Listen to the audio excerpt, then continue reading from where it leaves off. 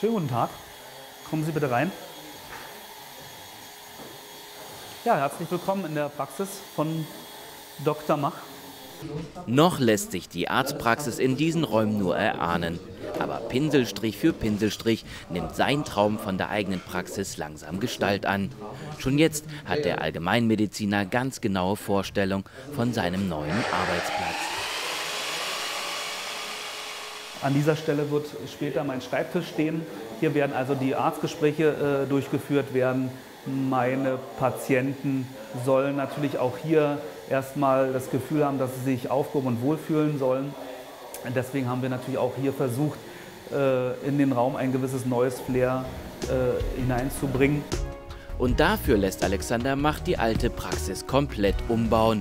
Empfang- und Wartebereich will er offener gestalten, für mehr Licht und Wohlfühlambiente für die Patienten. So wie die Praxis vorgestaltet war, wäre es sicherlich möglich gewesen, aber dass man einen richtigen Neubeginn auch äh, durchführt, finde ich, ist am Ende nur authentisch, wenn man es auch irgendwo an den Praxisräumen sieht. Mit seinem gewählten Farbkonzept will Mach seine ganzheitliche Praxisphilosophie unterstreichen. Fein. Das sieht sehr gut aus. Ja, sieht nach mir aus.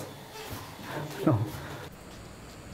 Der Lohn für viele Monate Vorbereitung, Organisation und harter Arbeit.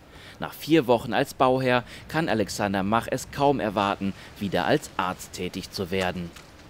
Wenn ich an die Eröffnung denke, äh, bin ich natürlich schon sehr aufgeregt. Auf der anderen Seite natürlich auch voller Erwartung, weil es natürlich jetzt auch Zeit wird. Für mich war jetzt auch die Umbauphase eine sehr interessante und auch eine sehr äh, neue Erfahrung.